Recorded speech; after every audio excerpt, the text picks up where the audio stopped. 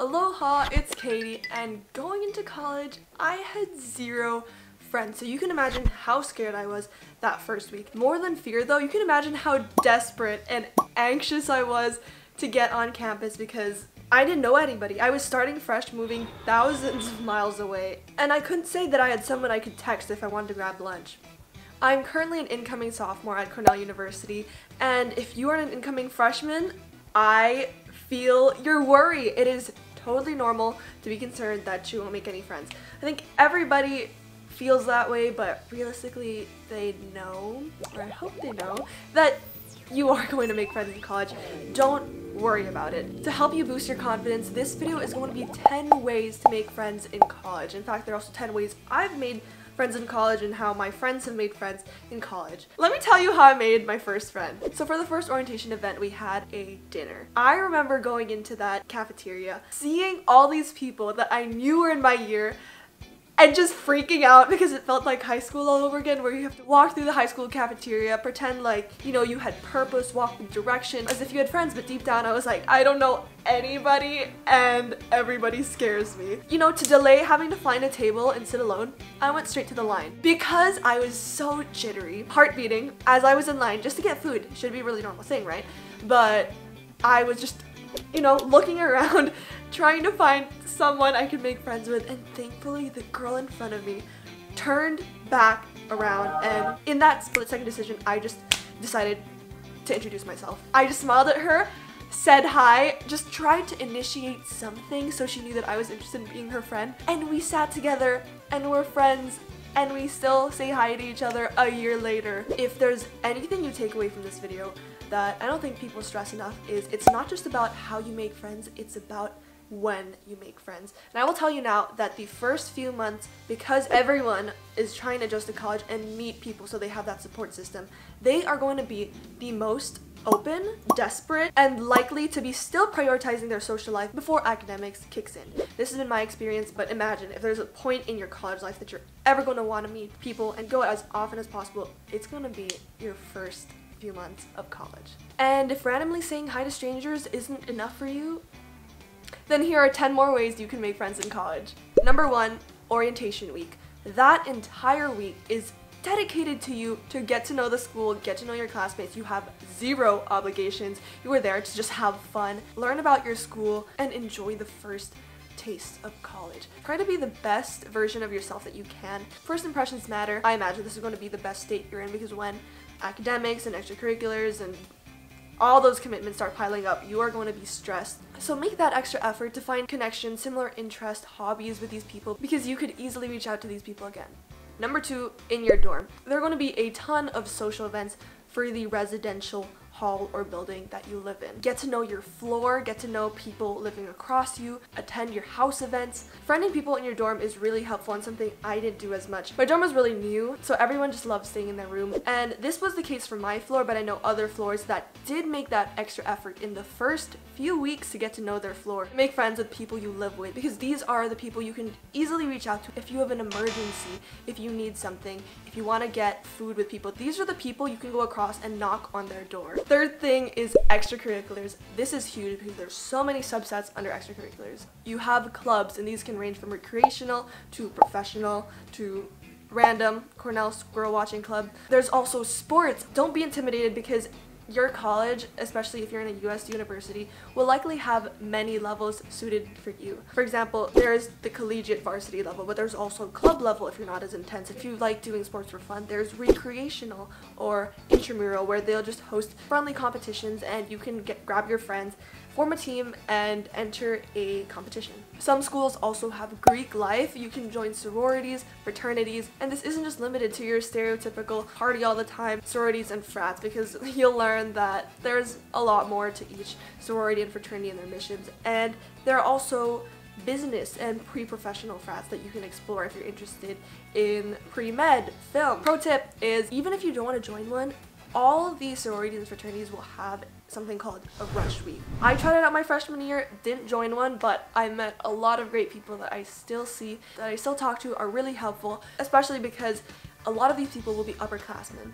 And one thing you'll know is that having a mentor or someone older than you who has been in your exact same position a few years ago can offer you so much wisdom, so much advice in a new environment that you have no idea about. They want to welcome the new batch. They want you all to succeed. It's beautiful because you'll want to pass that same spirit down onto the future batches and just create such a collaborative, welcoming environment that makes people feel really right at home. Number four, events. Again, college has so many opportunities and different kinds of events. You have mixers and socially focused events that I found a lot of cultural clubs hosted. So I checked out the Filipino one, the Chinese one. I checked out a lot of other cultures that I didn't even identify with, but people were just so welcoming of it. There's also a lot of speed dating, network sessions, coffee chats. They're literally events for you to make friends. But in general, there are entertainment events, you know, concerts, movie screenings. There are academic focused ones. If you're interested in research or getting a job on campus, you can talk to people and meet other like-minded people. I think that's the beauty in making friends in college is wherever you are naturally inclined to go, whether or not it's a social event, you will find similar people gravitate towards the same events you do and I think that just makes things so easy for you because you didn't even have to go out of your way to make friends. You just showed up at an event, someone else chose to show up at that same event, and boom. All it takes for you is to reach out to that person, and you could form an instant connection. Fifth thing is parties and nightlife. I have mixed feelings about making friends here because there have been times where I've made friends with people, but because they were really drunk, they didn't remember anything, and the next time I saw them and smiled at them or waved at them, they they just didn't recognize me, you know. So that's the kind of weird thing with trying to make friends at parties is there'll probably be a 50% retention rate. Yes, you will still meet people who will remember you, but if I were to go to a party or some night event, personally I would go with friends I already know it because I'd be there to have a good time. That said, nightlife is bound to be big in colleges. There will be a lot of people there. Number six, lunch. Okay, so the second friend I made in college was also in a dining hall. always where the food is. I was at a dining hall, I got my food and trying to find a spot to sit. I just sat down somewhere in front of someone and a few moments later after digging into my pho, I just started a conversation with someone. I said hi, asked what year they were in. I was very terrified to find that they were a sophomore, by the way. I was so intimidated by upperclassmen, but they were some of the most friendly people I've met. You'll soon realize that most conversation goes like this. Hi, what's your name? What year are you? What major are you? Where are you from? So have that ready, but you know, nobody likes talking about the same things over and over, so come up with some interesting things to say yourself. I find that the weirder things you say or the more you talk about things that people don't normally ask, the more you'll be remembered. Number seven, mutual friends. This has also been a big way for me to make friends because sometimes I'll ask to grab lunch with a friend and they will also have a friend who wants to grab lunch with them. So you end up meeting your friend's friends and introducing your friends to your friend and your friend will introduce their friends to you. So even though I'm in a fairly big school with 14,000 undergrads, around 3,000 in my year. My time in freshman year has felt very small. So you know how they talk about when you choose colleges, you can make a big school feel small, but you can't make a small school feel big. It's kind of that thing. You're not going to run out of people to meet. Number eight, high school alumni. You should try reaching out to students who graduated from your high school who are already at the college you're going to. If there are no alumni, like in my case, then you can try reaching out to your friends or your family who may know people who have gone to that school or are still attending that school. If you do share a similar school mascot, there is bound to be pride there and people I feel are more willing to help you. Number nine, we are in the digital age. Meet people online. I know for the incoming class under me, their Instagram group has been popping. Their class of 2023 Facebook group has been active. Your school might even have their own social network like Cornell does called See You on the Hill. You can meet people everywhere online.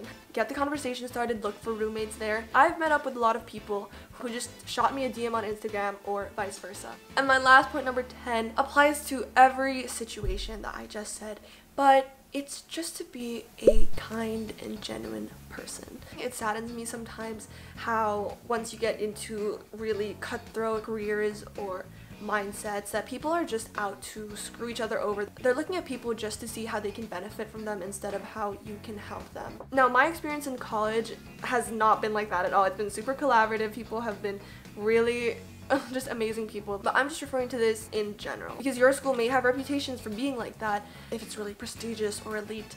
So it's just something to be wary of. If your campus sounds like that and you're kind of worried about it, just try to be a light in that campus because you can reverse that culture.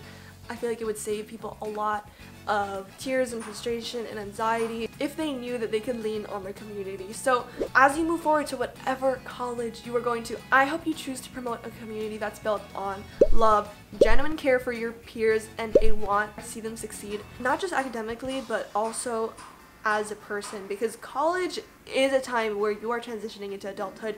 You are growing so much, maturing incredibly fast at this time in your life. And the people you are surrounded with are those who will help you far beyond just college.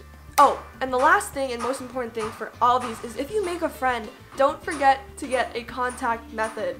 Get their number, add them on Facebook, add them on Instagram, Snapchat, whatever. Just make sure there's a way for you to contact that person again because if you don't, you're just gonna get swamped by all the people you meet. You're gonna meet a lot of people. You're gonna meet Mr. and Mrs. Popular. I'm just telling you right now. Make the effort to reach out to these people again after everything is settled down or ASAP if you think you really vibe with this person. Don't let them go because you might not know if you'll see them again. Also, I will be your friend. If you need someone to wave at when you're walking, just feel free to say hi. I appreciate it a ton when my friends do that.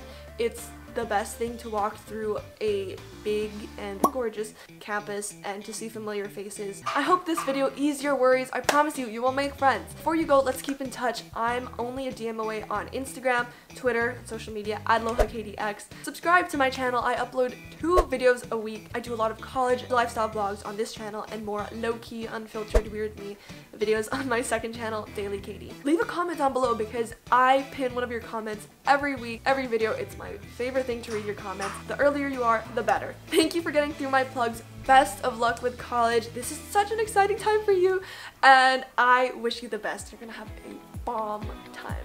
Bye guys.